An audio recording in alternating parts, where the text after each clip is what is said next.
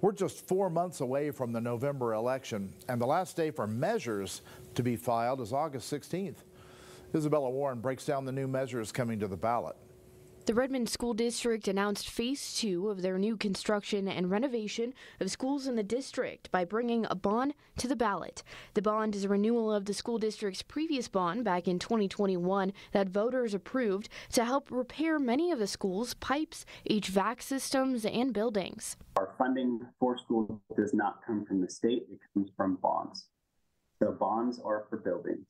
So what we have right now is about $300 million worth of repairs that we have prioritized down into about uh, $97 million um, that are things we need to do. Uh, one, to maintain what we have and to make sure that we don't have catastrophic fail. Redmond School District is asking for $2.26 per thousand assessed value, amounting to $97.7 million for the schools.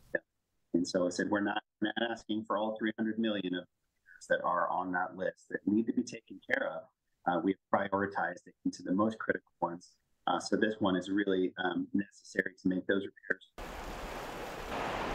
The second levy that could be coming to the November ballot is from the Deschutes Soil and Water Conservation District. It's the first levy from the group ever. This would allow us to really increase our capacity as a district.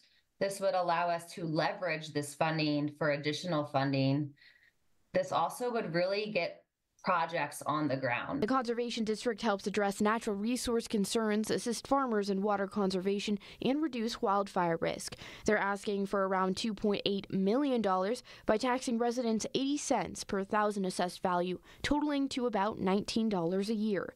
400 voters were polled by the district ahead of the election to determine what the levy should be used for.